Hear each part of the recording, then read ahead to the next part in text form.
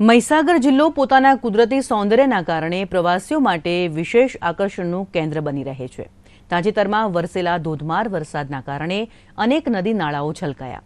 ખાનપુર તાલુકાના બકોર પાંડરવાળમાં આવેલા વાવકુવા જંગલ વિસ્તાર સ્થિત અલદરીનો ધોધ સક્રિય થતા આ વિસ્તારમાં પ્રકૃતિ સોળે કળાએ ખીલી ઉઠી. ગુજરાત તેમજ આસપાસના રાજ્યોમાંથી મોટા પાયે પ્રવાસીઓ આવતા હોય છે. પરંતુ પ્રવાસીઓ સેલ્ફી લેતા સમયે કે અન્ય રીતે બેદરકારી દાખવતા હોવાથી પ્રવાસીઓના ધોધમાં ડૂબી જવાના કિસ્સા પણ બને છે. જેને ધ્યાનમાં રાખીને મામલતદાર દ્વારા ચોમાસામાં અલદરી ધોધ જોવા આવતા પ્રવાસીઓ પર પ્રતિબંધ લાદીને ધોધ પાસે પોલીસ બંદોબસ્ત ગોઠવી દેવાયો છે. મહીસાગર જિલ્લામાં સારો વરસાદ થતાં પ્રકૃતિ સોળે કળાએ ખીલી ઉઠી છે. ત્યારે આપણે હાલ જે ઊભા છીએ એ મહીસાગર જિલ્લાના બાકોર પંડળાના વાકુવા પાસે આવેલો અલાદરી ધોધ છે. આ ધોધ પણ સક્રિય થયો છે.